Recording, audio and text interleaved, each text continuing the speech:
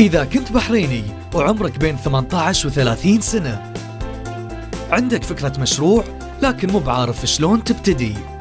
برنامج المهمة برنامج تدريبي شبابي. يتيح لك فرصة تحقيق مشروع أحلامك. ما عليك إلا زيارة الموقع الإلكتروني mission-bh.com